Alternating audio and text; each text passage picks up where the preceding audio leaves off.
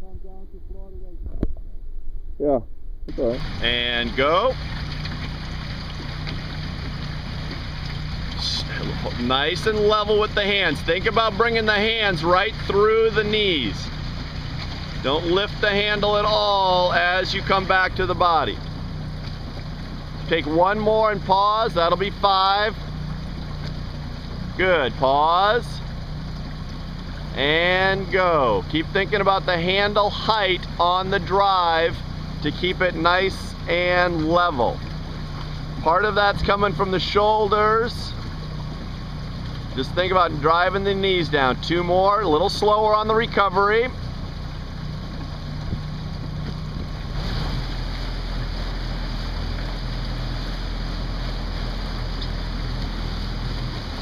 That's it.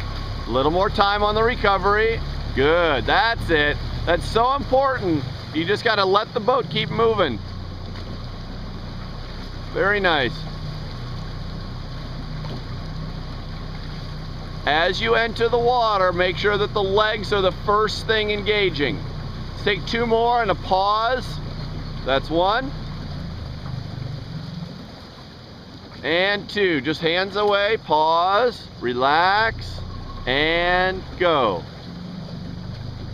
Push, good. Keep thinking legs, Carlo, keep thinking legs. See, that's why this is a good sport to counter and to complement your kayaking. There you're getting your arm and shoulder work. Here you're getting your legs and core work.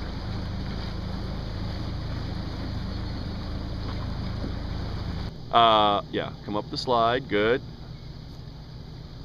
Good, keep going, open those hands up. Now square the blade, relax, and push the hands apart. Oh, sorry, push the hands apart a little bit. Now remember what's happening, it's a push, all right? Ready, push. Good, you pulled a little bit early. Now push away a little bit. Let your knees come up. Good, good, good. Now feel that stretch in your fingers and push, knees down. Excellent, excellent. That feel good? And make sure the blades are in the water, so just let them float. Ready, push away. Knees up, nice light hands. Relax, push, push, push. Excellent, good. Now you didn't follow through quite as much as you could. And go. Push away easy. Don't doesn't need to be a lot. Good, nice and relaxed. Everything's level now. And push. Push through and out. Good, that was good, that was good. Take another one. Push through, good, and another. And good, awesome. All right.